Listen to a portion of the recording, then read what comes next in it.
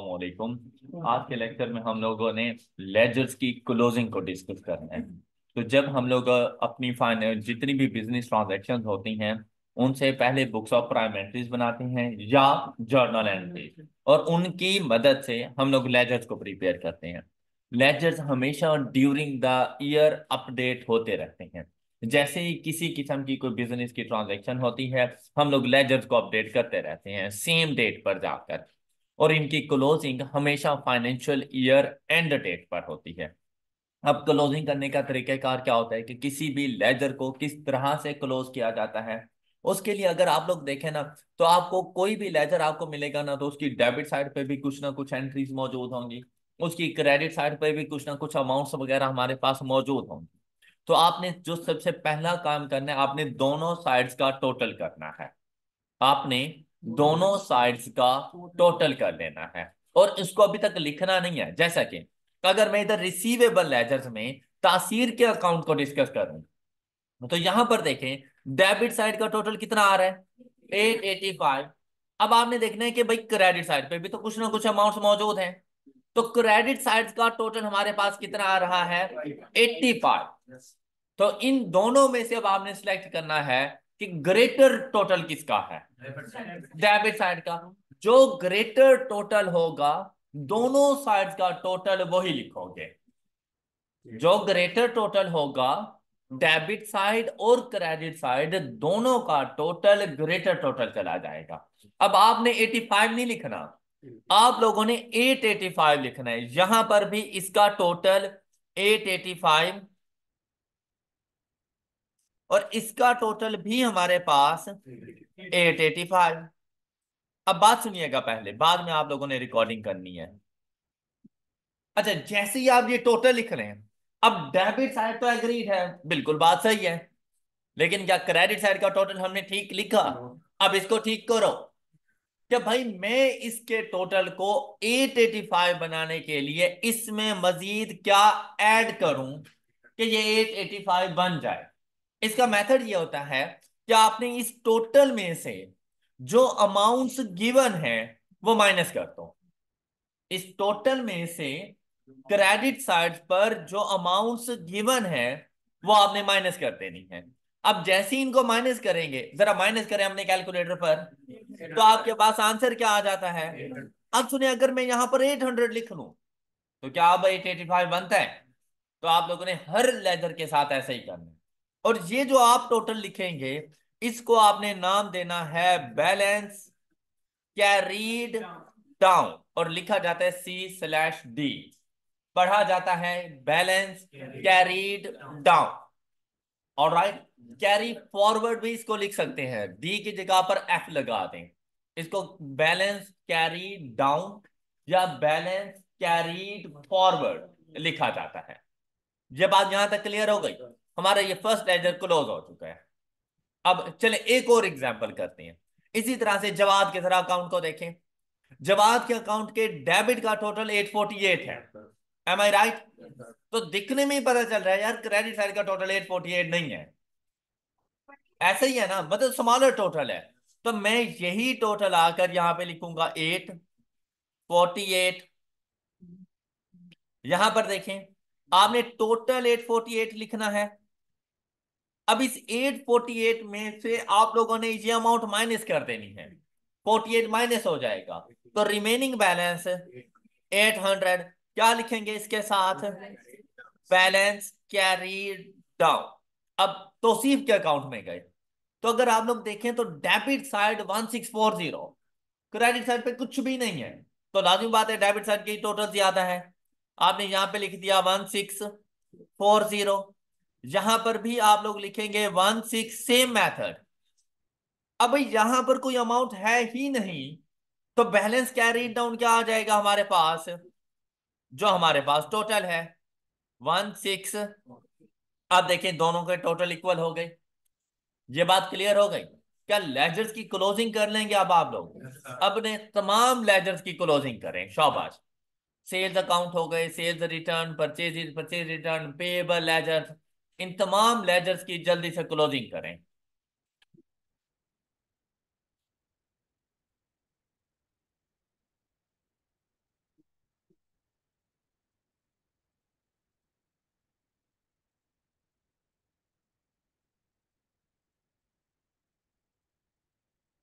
इधर मैं भी अपने पास ये तमाम लेजेस की क्लोजिंग कर रहा हूँ, लेकिन आप लोगों ने जल्दी से खुद से करनी है, जरा ये।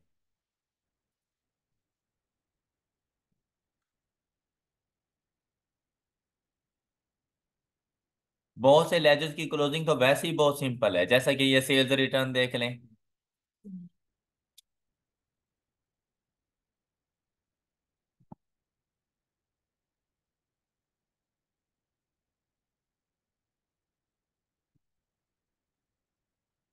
और जो हमारा फोकस होता है ना लेजर्स की क्लोजिंग में, वो टोटल पर नहीं होता। वो बैलेंस कैरी डाउन की अमाउंट पर होता है कि किसी भी लेजर का बैलेंस कैरी डाउन हमारे पास क्या आ रहा है, हमने उसको ठीक से कैलकुलेट करना है। और डिफरेंट लेजर्स में आपके पास कभी balance carry down debit side पर आएगा और कभी balance carry down credit side पर आएगा।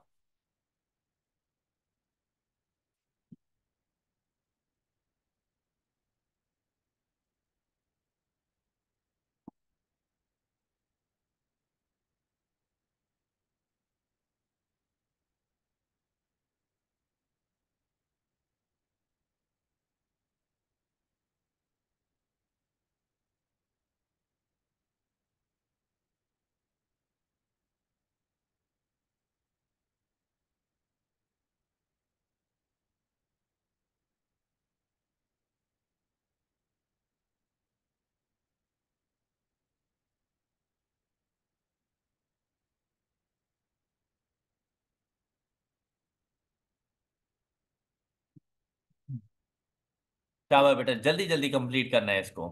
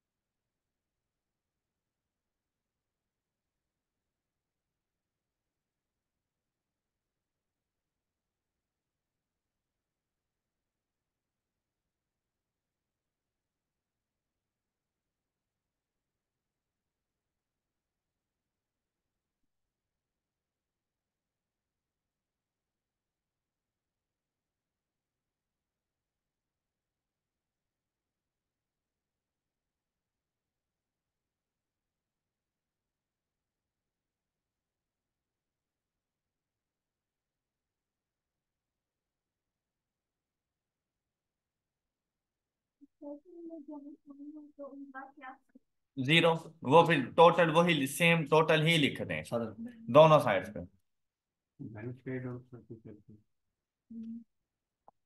तो बैलेंस कैरी डाउन की बेटा अमाउंट नहीं आती। अगर डेबिट क्रेडिट दोनों इक्वल हो तो फिर उनका बैलेंस कैरी डाउन नहीं लिखा जाता।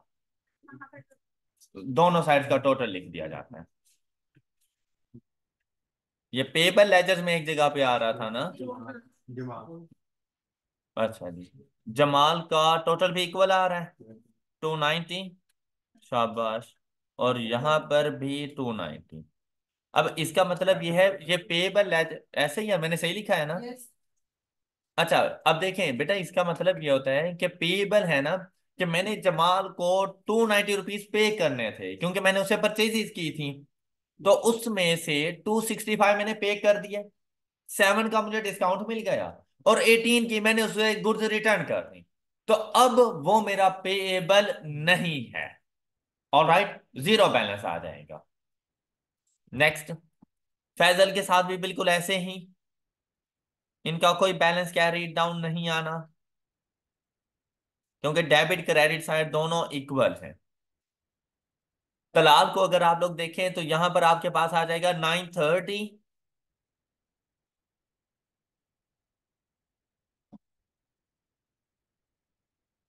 फाइव टेन और ये four twenty balance carry down Talal का। जी? दस नहीं। जी? फोर थर्टी हाँ ठीक है sorry four thirty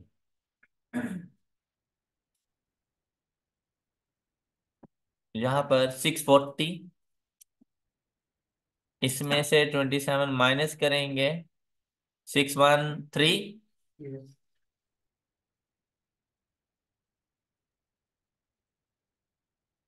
balance carry down and Fahad balance carry down is one sixty five हाँ जी, क्या तमाम बच्चों ने अपने अपने लेजर्स अकाउंट को क्लोज कर लिया? अच्छा यहाँ तक बताएँ, सर सर, कोई इशू है? क्या लेजर की क्लोजिंग में मसला है आप लोगों के लिए? कोई भी लेजर गिवन हो, आप इजीली उसको क्लोज कर सकते हैं। जो आपकी होम असाइनमेंट थी एग्ज़ाम्पल नंबर सेवन उसके लेजर्स आप बना कर आए थे तो उसकी क्लोजिंग अब आपकी होम असाइनमेंट है। राइट अच्छा अब सुने। बेटा, अब लेजर्स का काम खत्म हो चुका है। लेजर्स ने बस यहीं तक हमारा साथ देना था। लेजर्स के दरवाजे हमने बंद कर दिए। और जो जो बैलेंसेस थे हम लोगों ने एक्सट्रैक्ट कर लिया अच्छा इन बैलेंसेस का मतलब क्या है? जरा बात सुनिएगा यहाँ पर। सब बच्चों ने लिख लिया ना ये?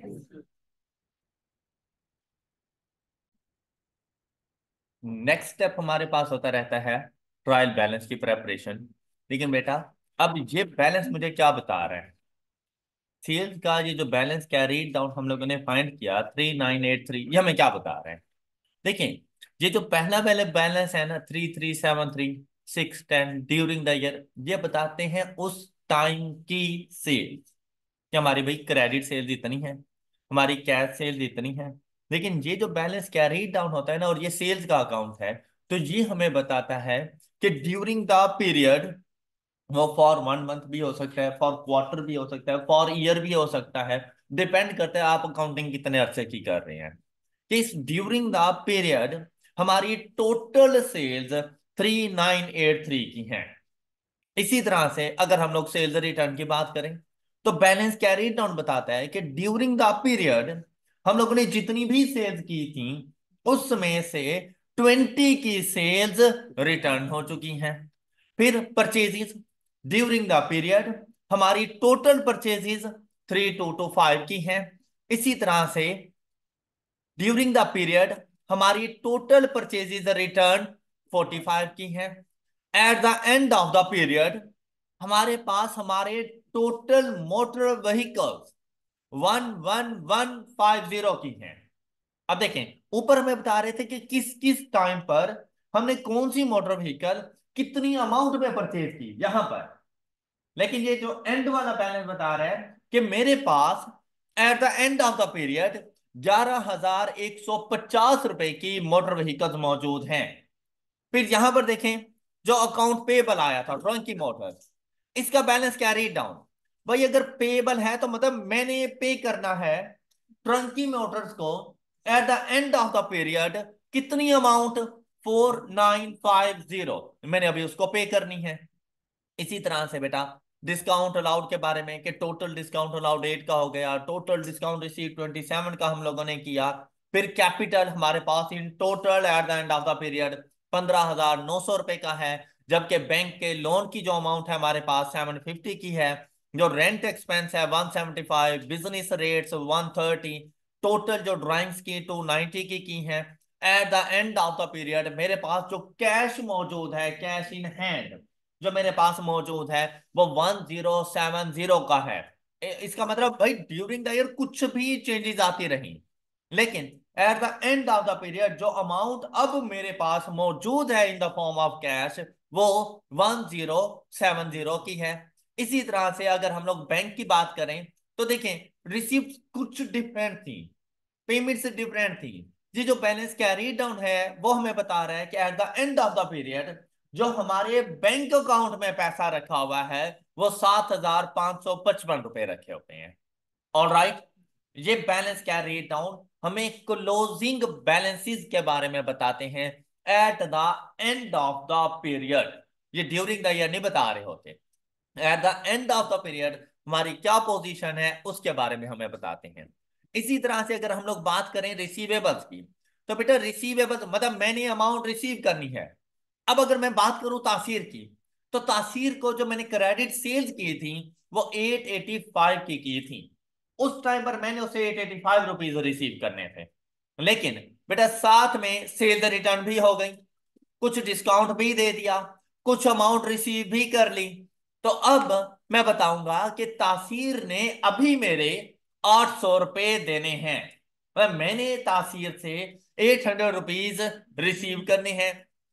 इसी तरह से जवाब से मैंने अभी एट हंड्रेड रुपीज़ रिसीव करने हैं, जबकि तोसीफ से मैंने one six four zero rupees receive करने हैं। यह बात क्लियर हो गई। इसी तरह पेबल्स के बारे में देखें तो भाई मैंने जो परचेजेस की थी ना, वो टू नाइनटी की की थी। उसके बाद मैंने ड्यूरिंग द ईयर उसको पे भी कर दिया। तो मैंने जमाल की कोई अमाउंट पे नहीं करनी। इसी तरह से फैसल भी अब मेरा पेएबल नहीं है क्योंकि मैं उसको अमाउंट पे कर चुका हूँ। जबकि अगर बात करें तलाल की तो अभी मैंने उसको फोर थर्टी रुपीज़ पे करने हैं। राशिद को मैंने सिक्स वन थ्री रुपीज़ पे करने हैं, जबकि फहद को वन सिक्सटी फाइव रुपीज़ पे करने हैं। ये बात क्लियर हो गई सब बच्चों को? अच्छा अब यहाँ पर अगर आप लोग गौर से देखें ना तो आपके पास सिर्फ़ तीन रिसीवेबल्स थे और कोई पाँच पेएबल्स थे। जबकि प्रैक्टिकल सिचुएशन में आपके हज़ारों रिसीवेबल्स होते हैं और हज़ारों पेएबल्स होते हैं। तो मतलब आपके पास हज़ारों टी अकाउंट्स मौजूद होते हैं। अब क्या करना है आप लोगों ने? आप लोगों ने लिस्ट ऑफ़ बैलेंसेस को प्रिपेयर करना है। आप लोगों ने लिस्ट ऑफ़ बैलेंसेस को प्रिपेयर करना है। मतलब अब देखिए लेजर बहुत ज़्यादा डाटा है हमारे पास। अभी हम लोगों ने देखे दो दो, तीन तीन सिर्फ़ एंट्रीज रिकॉर्ड की हुई हैं। जबकि प्रैक्टिकल लाइफ में कोई बीसियों मरतबा सेल्स परचेजेज हो रही होती हैं। बीसियों मरतबा हम लोग अमाउंट रिसीव कर रहे होते हैं डिस्काउंट्स दे रहे होते हैं कॉन्ट्रा सेटलमेंट्स कर रहे होते हैं, काफ़ी सारी ट्रांजेक्शन होती हैं। तो अब हम लोगों ने क्या करना इसको ना समराइज कर लेना है। देखो, अगर किसी के सामने लेजर लिखेंगे तो काफ़ी सारी अमाउंट है। हम लोग ना अपने रिसीवेबल लेजर्स और अपने पेएबल लेजर्स की लिस्ट मेंटेन कर लेंगे। उसे कहा जाता है list of balances list of balances और किसकी लिस्ट मेंटेन करनी है हम लोगों ने? अपने रिसीवेबल्स की।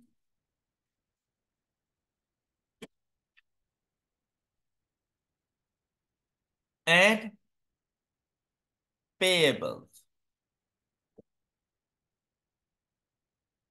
अब ये लिस्ट किस तरह से मेंटेन करेंगे हम लोग?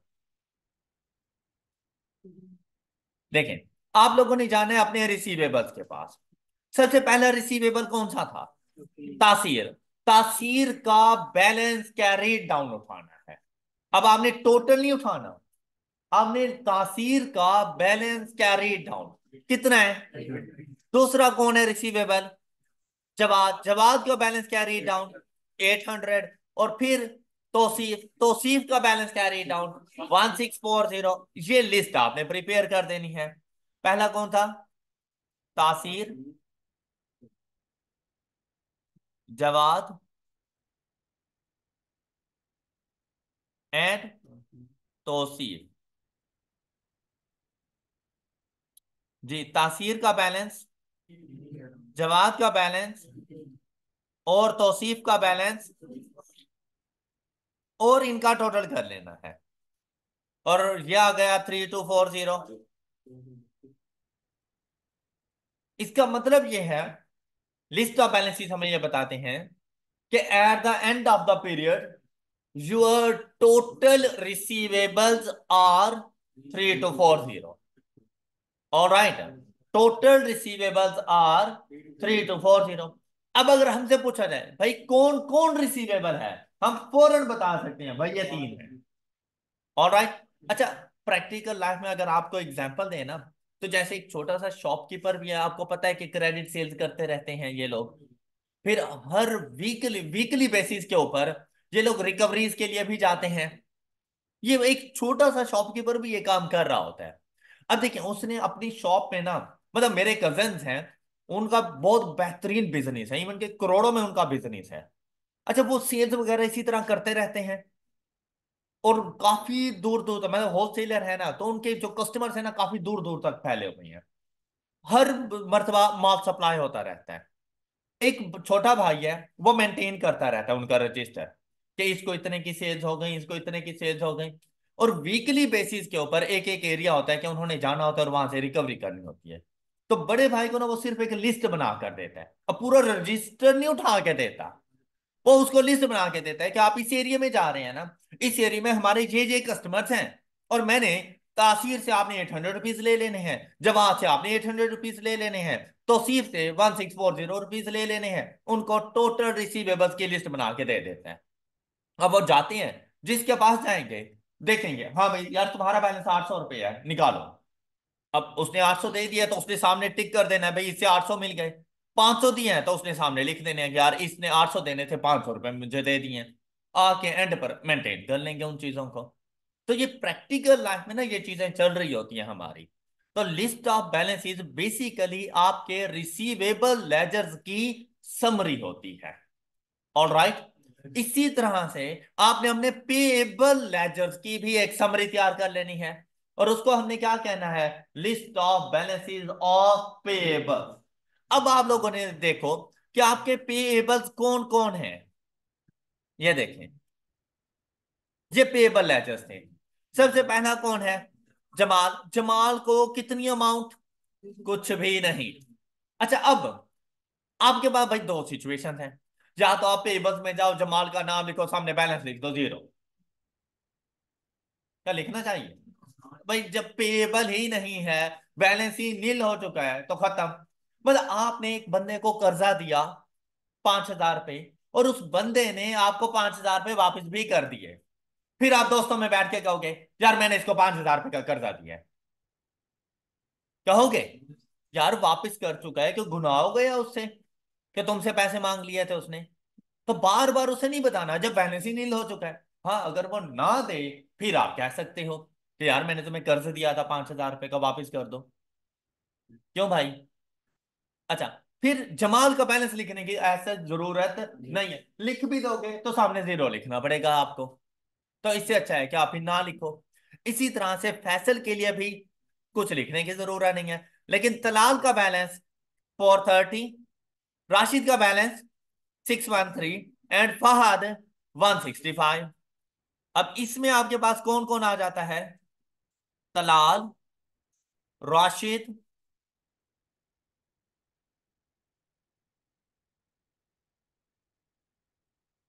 एंड जी, तलाल का बैलेंस था four thirty six one three one sixty five and the total is?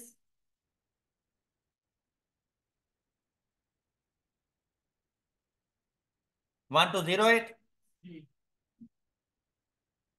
अब ये हमें बताते हैं कि at the end of the period हमारे जो टोटल पेएबल्स हैं वो वन टू ज़ीरो एट के हैं। और राइट कौन कौन है? किस किस को हमने पे करना है? तलाल को राशिद को और वाह, अब देखो क्या लेजर देखने की ज़रूरत थी मुझे।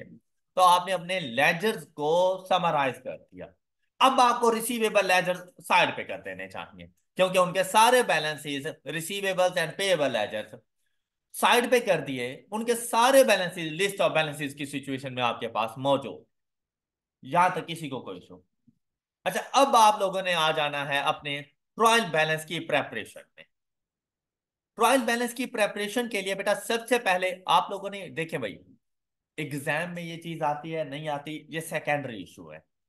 लेकिन आपकी प्रैक्टिकल लाइफ में जब आप लोग एक अकाउंटेंट्स बन के बैठे हुए होंगे तो ये चीज़ें आपने फेस करनी है। तो उसके लिए आपको ये चीज़ें प्रिपेयर करना आनी चाहिए। ओके? इवन के कहा जाता है कि अकाउंटिंग सॉफ्टवेयर में सारा काम होता है। यार सॉफ्टवेयर तो तुम लोगों ने बनाने हैं ना। या आईटी स्पेशलिस्ट बनाएँगे, उनको अकाउंटिंग तो तुम लोगों ने बतानी है ना कि भाई मुझे सॉफ्टवेयर में क्या कुछ चाहिए। अब आईटी स्पेशलिस्ट को सॉफ्टवेयर बनाना आता है अकाउंटिंग तो नहीं आती ना, वो तो तुम लोगों ने बतानी है तो तुम्हें तो आनी चाहिए। तो इस वजह से ये चीज़ें सीखना बहुत ज़रूरी है। फिर यहीं से ही ना एमसीक्यूज बन जाते हैं। ये जितना कुछ हम लोग पढ़ रहे हैं कि बैलेंसेस कैसे होना, होता रहता है, क्या बैलेंस आएगा, अगर ये डेबिट हो, ये क्रेडिट हो बैलेंस कैरी डाउन बता दो कितना हो जाएगा।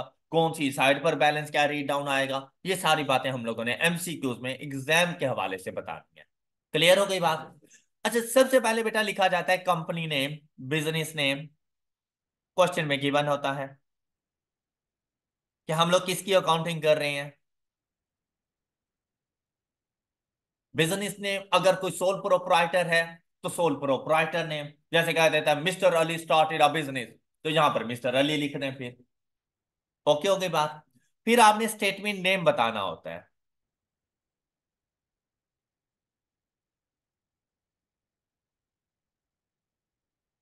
कि हम लोग कौन सी स्टेटमेंट बनाने जा रहे हैं? हम लोग ट्रायल बैलेंस बनाने के लिए जा रहे हैं। ट्रायल बैलेंस कभी भी ड्यूरिंग द पीरियड नहीं बनता। ये हमेशा उस टाइम पे बनता है, जब लेजर्स अपने आप को क्लोज कर चुके हों। तो लेजर अपने आप को कब क्लोज करेंगे? जब अकाउंटिंग ईयर एंड हो चुका होगा। ड्यूरिंग द ईयर लेजर्स भी कभी भी अपने आप को क्लोज नहीं कर सकते। All right right? तो जब लेजर्स ही क्लोज नहीं है तो ट्रायल बैलेंस कैसे बनाऊँ? तो हमेशा at the end of the period बनता है। तो इसके लिए आपने लिखना होता है एज एट और साथ में आपने डेट मेंशन कर देनी है। जैसे, चले सपोज़ कर लेते हैं थर्टी इसके लिए क्या थी डेट इस क्वेश्चन के लिए डेट क्या चल रही थी हमारे पास? कौन सा मंथ है? नवंबर का मंथ था। Thirtieth for the month of November हम लोग अकाउंटिंग कर रहे थे ना? ऐसे ही था ना? थर्टीएथ नवंबर ईयर कौन सा था? अच्छा जो भी ईयर हो साथ में वो ईयर लिख दिया जाता है। ये भी क्वेश्चन में गिवन होता है कि आपको डाटा कौन से साल के लिए दिया जा रहा है। फॉर द ईयर एंडेड है तो वो जो डेट बताएगा आपने वही डेट यहाँ पे मेंशन कर देनी। ये बात क्लियर अच्छा इसके बाद ना, आपने तीन कॉलम्स को मेंटेन करना है। फ़र्स्ट कॉलम आ जाता है आपके पास डिस्क्रिप्शन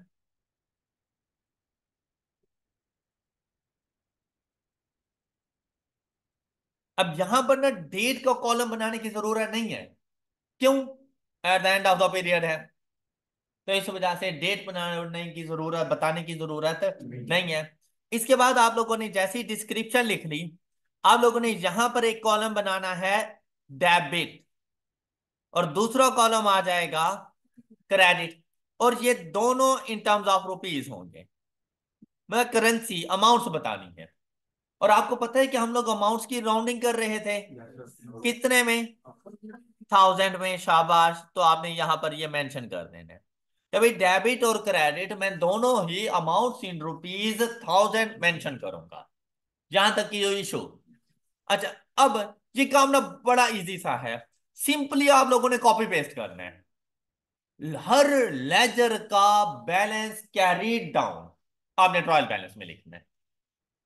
हर लेजर का बैलेंस कैरीड डाउन आप लोगों ने ट्रायल बैलेंस में आके लिख देना है। ओके हो गई ये बात। अच्छा आप देखें। डिस्क्रिप्शन में उस लेजर का नेम आ जाएगा।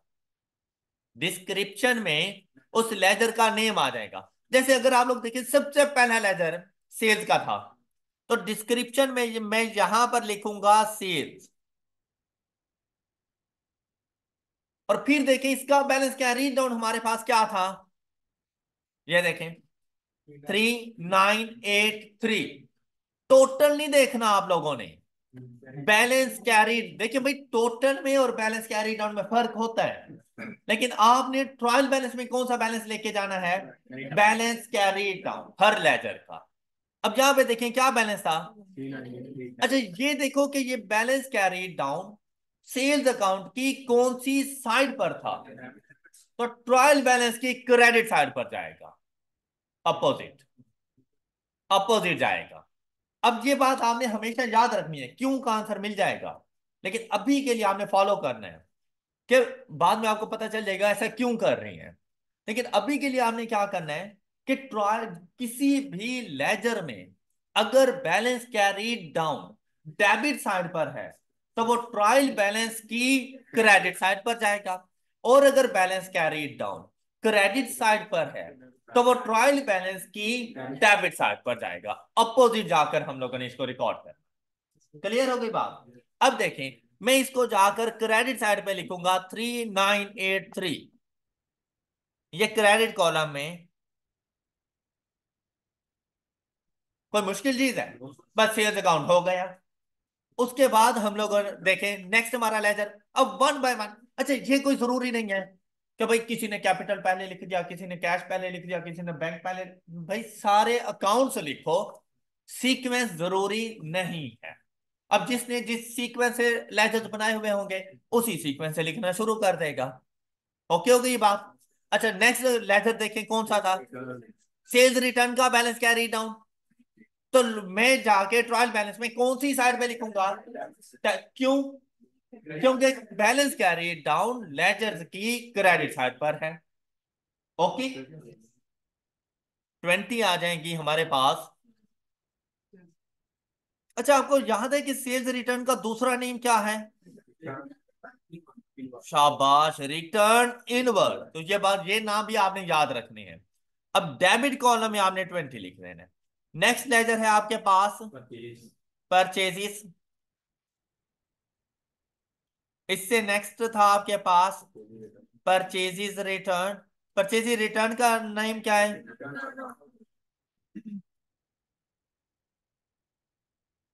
रिटर्न आउटवर्ड अच्छा अब जरा इनकी अमाउंट देखें. परचेजेस की अमाउंट क्या आ रही है? Three two two five and purchases return forty five अच्छा बताएँ. परचेजेस का बैलेंस कहाँ पे लिखो? परचेजिंग रिटर्न का बैलेंस अच्छा इसके बाद कौन से अकाउंट है आपके पास? अजय फ़र्स्ट फोर हम लोगों ने लिख लिए। उसके बाद आगे motor vehicles and account payable motor vehicles account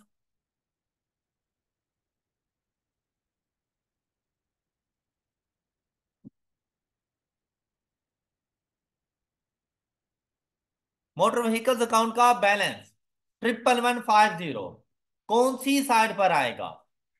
debit side पर आएगा, शाबाश good and account payable to Trunky motors and the balance is four nine five zero कौन सी साइड पर? क्रेडिट साइड पर आ गया। नेक्स्ट देखें हमारे पास कौन से लेजर्स मौजूद हैं? Discount allowed and discount received eight and twenty seven discount allowed and discount received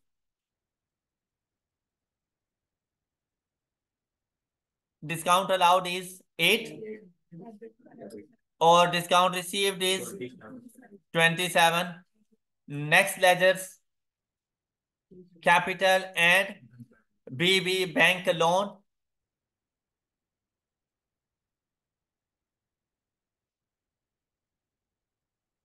capital का बैलेंस है 15,900 am I right B B bank loan seven fifty, ये भी क्रेडिट साइड पे लिखेंगे।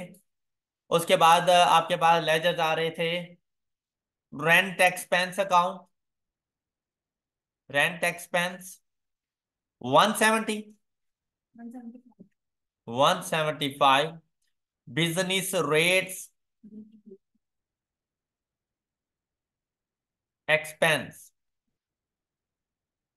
one thirty. जी नेक्स्ट ड्राइंग्स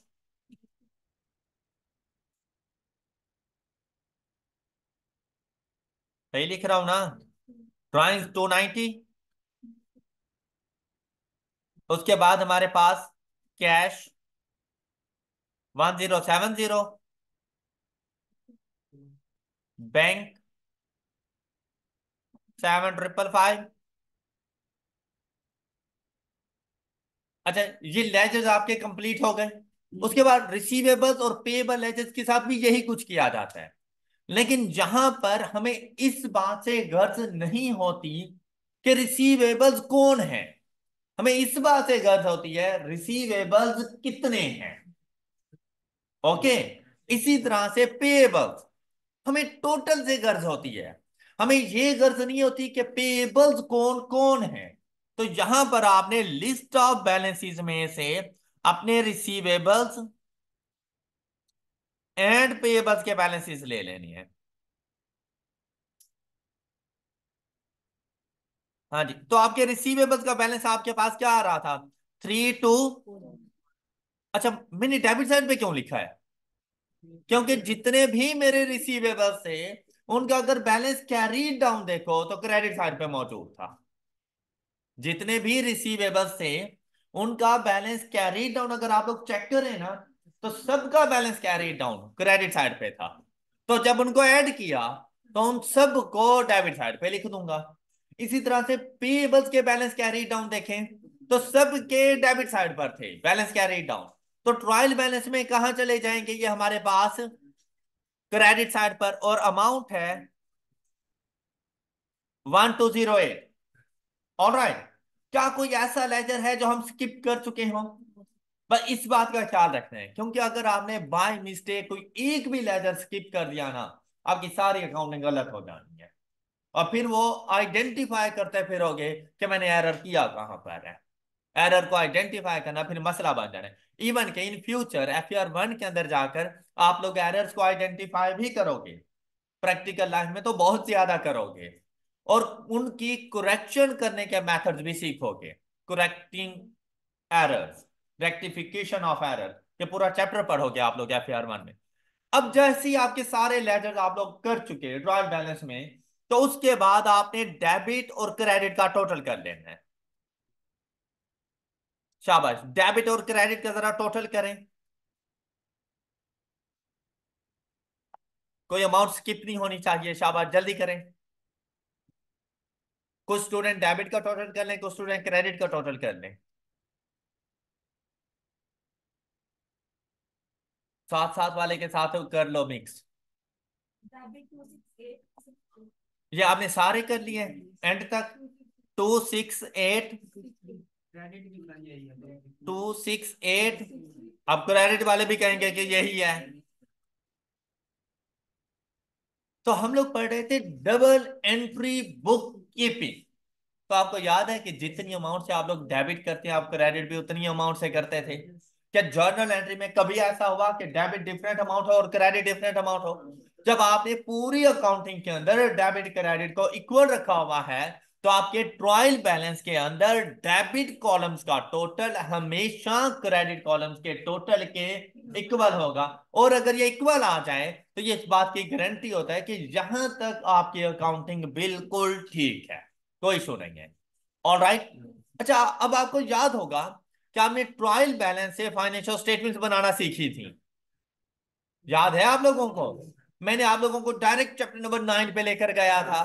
तो बेटा ये आपके पास एक ट्रायल बैलेंस मौजूद है और इसकी मदद से आपने फाइनेंशियल स्टेटमेंट प्रिपेयर करके आनी है। सिर्फ़ इस ट्रायल बैलेंस को आपने देखना है, जो डाटा गिवन है, इसी को अकाउंट फॉर करना है। और इसकी मदद से आपने स्टेटमेंट ऑफ़ कॉम्प्रिहेंसिव इनकम मतलब प्रॉफिट और loss account and statement of financial position balance sheet बनाकर आनी है।